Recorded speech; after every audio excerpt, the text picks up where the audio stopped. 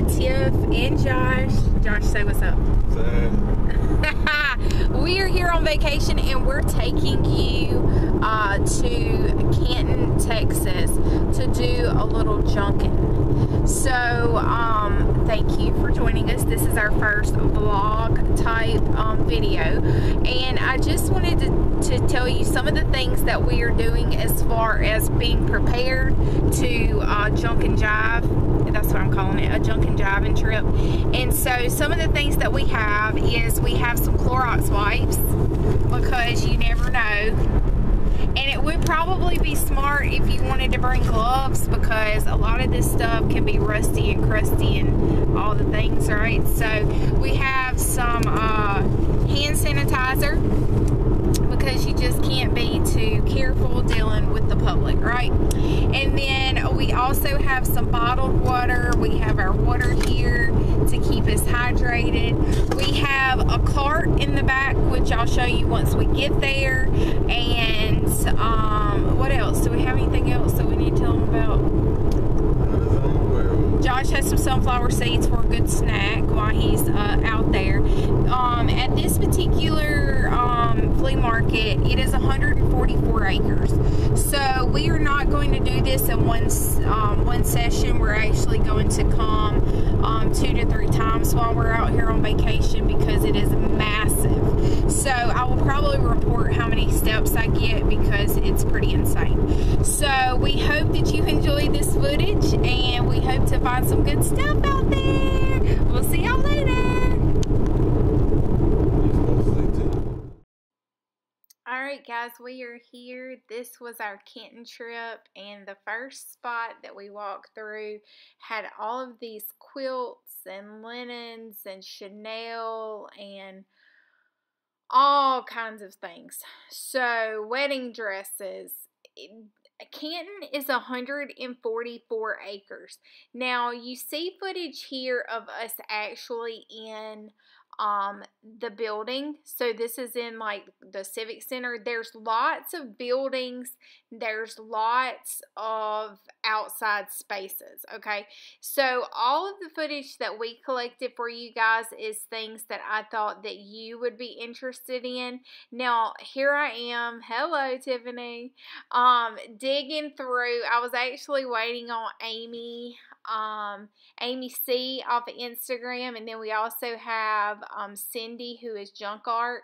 She is also uh, going to be joining us here. I was waiting on those ladies to get here, so I'm just digging through all of the random linens, and you can see they have it like marked like embroidery, embroidery embroidery.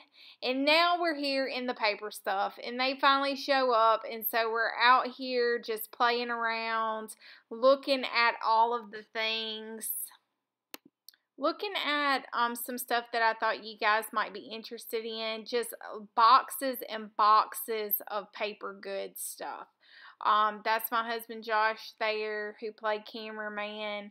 But you can just tell that it's anything from these old typewriters that didn't type to paper stuff to just you name it. If I had a choice between the mall and going to um, the, the flea market, I would pick the flea market every single time. And so there's Amy, there's um, Cindy, and hopefully you're not getting drunk because the footage is moving pretty quick. But we did a lot of walking, we checked out a lot of stuff, um, and we had an amazing time. So, um, if you get the opportunity to go to Canton, Texas, I highly recommend it. It's first Monday and it's only opened once per month. That guy right there was uh, Cole, Amy's husband, who Josh has now um, nicknamed Cool Daddy Cole. So, um, there's that. And then he's just getting footage of all of the vendor stuff. A lot of these people travel all around to come and bring their stuff to Canton, Texas because it literally, this was the very first day. So it starts on Thursday and we went Thursday, Friday, and Saturday. So we did three days full of all the junk you could possibly imagine. And because this footage, um, we'll see. I may add the haul video at to the end of this, and if not, then I will uh, do it in a separate video. But it's literally anything you can possibly imagine. Um, they have like just vendor after vendor after vendor. Uh, one guy said he comes once a month and he drives from Kansas to Canton, Texas to do his show with all of his stuff. So um, I did get some windows. I don't show y'all that in the footage, but this guy I ended up buying three um three different uh, window panels. I know maybe I bought more than that. I can't remember. But I bought several different windows to be able to uh, hang up and just, uh, they were they were dirt cheap, like three bucks or something. So um, it's always interesting the things that you can find whenever you're out here. It's just really, um, it's pretty cool. Um, you just never know what you may find while you're out there. So it always makes the trip very enjoyable to come and just check out. Um, I know Cole was looking for some particular tools. So yeah, they have tools and everything rusty and crusty that you can possibly imagine. They absolutely have it out there. So, um, I, I'm going to turn on the music and let you guys just check out the show, and then we will have the haul at the end.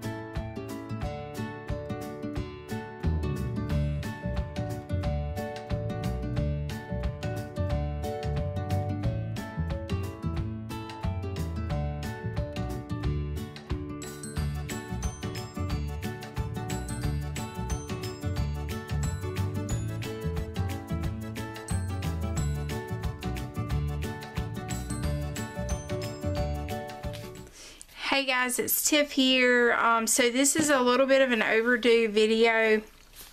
Um, you saw in the previous footage that I've edited in of um, the trip that my husband and I, Josh, took to Canton, Texas to the big, huge flea market that they have once a month. That was the end of February. We did that for our um, anniversary. So I wanted to show you if you so on the Instagram feed, I posted a lots of pictures. You can go and check out the highlights um, under vintage for some of the photos. I did not buy everything in those photos. Um, I just thought it was a great opportunity to take some really good pictures or at least take some pictures that I can then put into my journal. So here are a few of the things that I bought. So this is like some old little... Uh, it opens tin like this that has some apparently bent nails but I wanted to um, use this as maybe like a little watercolor tin or something. I just liked it and so I got it. This is a ice scraper or some type of scraper thing I'm going to take this out and I think it would be cool and somehow I could use this as like a journal tie or something. This little mechanism is what caught my eye and the reason that I bought that. We'll put those to the side for now. Um, I got some really fun photos. Um, look at these guys. They just look like they were something. I've considered maybe scanning these in and making it a download or something. I don't know. Possibly. Y'all tell me if that's something that y'all would be interested in. I know a lot of people do downloads. This is 1960s. I really like class photos. This 1959. This one ended up getting torn. It was stuck to something else. And then here's a large photo here. Well, let me turn it this way. But yeah, I got all of those pictures. There may be more, but that's what I have right there. So then I got this. This is like, what is this? How did it, celluloid? Um, I have some albums that were Florence something 19 1893 to 1978 I don't I don't understand. But anyway this I just thought this was really cool and so I bought that in the framed I think it's called celluloid it's some kind of like plastic stuff. And then um so this book And this is um, somebody's uh, thesis that is all typed and I just love the paper. So I thought it would be really cool to upcycle. That's like real delicious right there. A little good crusty goodness there. I got some yearbooks. I do not need all of these things, so I will at some point whenever the spirit moves me be doing uh, probably an Instagram sale with some of the things. But these photos are just so great. So I've got to really pray over which ones I'm going to let go. But look at Miss Thompson. 1949. I just love these. I love old yearbooks. I love them when they're in black and white. And this, apparently I just realized, is in two pieces. So that could pretty be a pretty cool journal cover and then just use the guts. This one is a 1934 um, yearbook. They have some funny little things that they say about each person in here.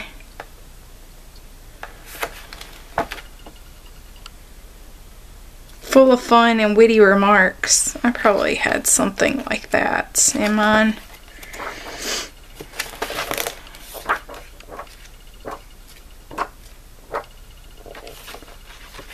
Actually, I was uh, uh, best personality in school. oh, Lord, I don't know about best, but I've got a lot of personality if that counts. So, yeah, I just really love, I could just look through these. Those are cool. And so that was 1934. This one is 1940. I really need to go back and look and see if they have any majorette photos. I would like to use some vintage majorette. I was a majorette, so I twirled from five till I started at five years old. So I love my baton twirling. So it would be cool if I could find some vintage um, photos of girls who twirl, but that's pretty cool. And this was what, 1940? This one is 1935.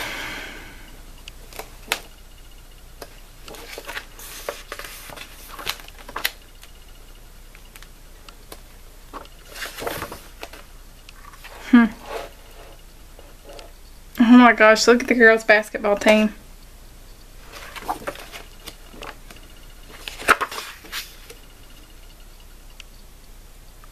so fun to go back and look at home economics. Home ec. Alright. And then this one is also 1935. Yes, I bought a lot of yearbooks. I just love them. And if you're not sure what to do with yearbooks like this, um, I've done some videos on that. So I'm going to set this. Alright. So I have here, these were for, I think, prescriptions. They were in this big, like, kind of box thing, but I taught the lady into just selling me the cards itself but this could be a really cool substrate um, potentially for a series you could you know I thought it would be kind of cool you could hang them so you had a long row. I don't really know what I'm to do with these. I didn't know what I was doing with any of it, but I just love the metal tabs that have the holes there. So the potential is here um, to have lots of good fun. So have that big stack. This is what I think is, um, it says night 96 on this, but this book looks way older. I think it could be like um, a Vietnamese. I well, it might help if I actually had it flipped the right way, but I've got to Google some of this and to translate. But I thought it was interesting because it has like graph paper where you write notes and this is talking about 1964 1963 you know a little rat probably chewed on that but it's all good. That could possibly be rat urine so who knows just joking um no i'm not really joking that's probably a good possibility but then i don't know. I've got to go back. I've got to do some research on this and see what type of book this is. But I thought it was interesting that throughout they have like blank pages for you to take notes. So I think maybe a school book. I'm not sure. And then I have these that I bought so these actually, every time that I found these like door pulls before, they were very heavy and these were much lighter. And so these could potentially be like a journal opening or closure type piece that you could put, that I thought about putting on the front of a journal. Um, I also have these guys so I got several of these, but they were lightweight enough that they could be on a journal. I have gotten some hardware like this before that was just so daggone hard, I mean like heavy, that you would not really be able to use it in a paper type journal method. So that was another one. Let me go grab the last little bit. Alright, so I picked up some of these gloves um, I'm excited. I have an idea about these. I got two, four, six. So I got three pairs of gloves. Um, this is Dari Lee. She is just precious to me and I don't know what I'm gonna do with her but she's fun. And then I got all of these like random papers that were inside of these ledgers I got uh, this Tiffany & Co. Um, I feel like there was a date 1915 the fact that it said Tiffany on it was everything to me and then also I met up with I met up with okay I met up with some friends on Instagram and one of them bought three little paper pads that says Smith Sterling Service and Cindy, hey girl, she gave me this so now I have my whole name. Tiffany Smith, ha ha ha, small things in life. So I got this big wad of receipts from 1938 to 1949. People, oh, and a random photo apparently. Oh, I remember these now. And these are like war ration books that I thought could be cool little um, small journals or something like that. And then this little character on his horse. Check him out. Ain't he cool? And so, yeah. I love school pictures. That's probably a weakness of mine.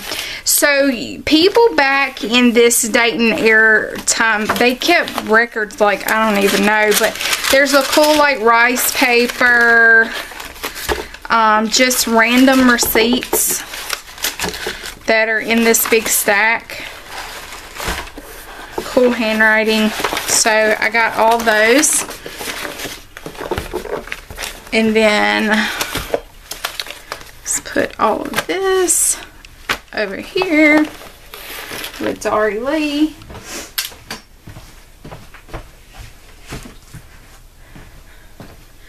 I got the second uh, school reader. So the little story about this is I went into this place that was like um, more like a building than a booth. and I found like one of the earlier Alice in Wonderland books and I really wanted to buy it. So I took all three of the books up there and the lady ended up opening it and saw her grandmother's name. So she would not sell the Alice in Wonderland books. So I bought these um, two books um, the first eclectic reader and the second school reader.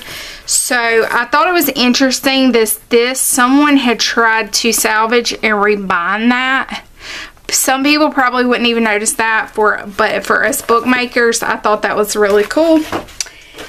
Then I got this um, album here. At one point it was velvet but you can see like it's had its better days.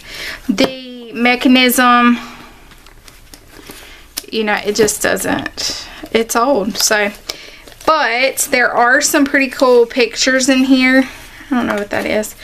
But there are cabinet cards photos in here that were pretty cool and the lady who ended up um, selling this to me she now subscribes to my channel or at least I think she does. She was having some technical difficulties but she talked to me for quite a while and we had a nice long chat while I was there thrifting at her booth. So let's talk about some things that are not paper. So these linens um have obviously seen their better days, but I love the ratty, tattered, um, just everything about it. So, I don't know what this is. It like has these ties. I don't know, did you put something in there? Like I'm thinking like a soup bowl or something and you would carry it like this. I have no idea, but I liked the uh, pattern of the fabric.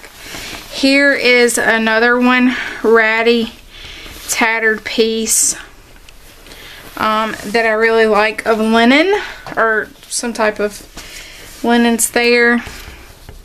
This is tatted lace. So my mom used to tat lace.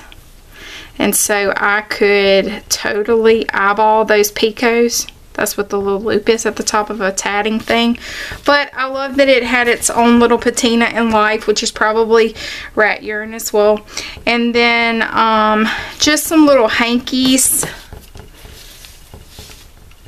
I also had, huh, I wonder what I did with it. I also had like a little dress that I found. I don't know what I've done with it now. But um, just some ratty, tattered fabric that I can use in something. And then here's another piece. Maybe I'll find that dress before I finish filming, but I thought that those were a little sweet. Little sweet hankies. And then um, I have these. This is really old. But I did get this. I gotta think about how I did it now. I did get it to close. But this is a very old leather leather coin purse. Like this leather hasn't been conditioned in like a hundred years probably. It's broken down here at the bottom but maybe that's what made it so interesting to me. And your girl doesn't know what she's gonna do with that but I thought it was cool. And then this is like a uh, I guess it's like a little cigarette thing like you would put cigarettes in it actually it's not Oh, I see. It has two sides and it has a hole in it as well. This is where your cigarettes would go, I guess, and then this is where your coin purse would go. That's pretty cool. So it's like a two mechanism little dealio there. Cool.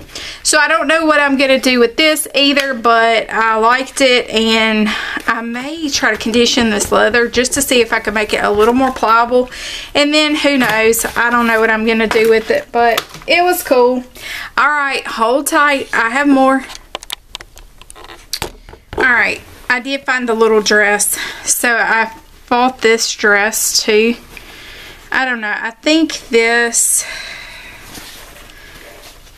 I don't know. I think I could alter this. I don't know. This could be a really cool piece to frame and kind of um, alter in some way, but I thought it was cute, so I got that. That's what I was looking for. And then the mother load. I bought, let me let y'all see the side. I bought all of these ledgers. So, a little story. The previous time I went, I don't think I found but one, like, one ledger, okay? This time, these are falling apart. They're not in great shape. I will be selling some of these because I have more ledgers than I can no, that's a lie. I could just collect them, but I'm not going to. Because I know there's people out there that can't get their hands on them, and it just seems like my energy attracts ledgers these days. So, uh, this is like 1919, 1914, excuse me, 1914, 1916. I come across this booth, and I see all of these ledgers. Like almost, I think it was eight or nine of them that I bought from that one guy. And they were in a booth that did not have any paper stuff in it. Like it had light bulbs and like all these weird random things. And this is 1898. And then in the corner of my eye, I see like this U.S. postal box. And this, the view that I saw was like the top of this. And I began to get very excited and um, nervous that they were going to be so expensive I would have to leave them. But me and the guy talked and talked and we worked it out and um, yeah, I bought all of them. So there's that. But yeah, items. Yeah, it's pretty cool. But some of them are like, I mean, they you can see the binding is gone to shit over here. Oops, sorry. It has gone to hell in a handbasket. But look at this writing. I don't know. There were a lot of different ones. So some of this I had not seen before. Actually, I, I didn't buy all of them at one place. I think this is the one that I got from the other guy who had a lot of the paper stuff that you saw already.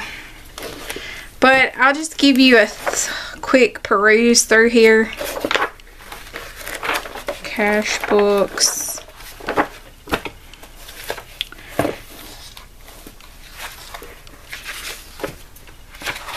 Um, some of them aren't filled Like this one probably doesn't have but just the first few pages.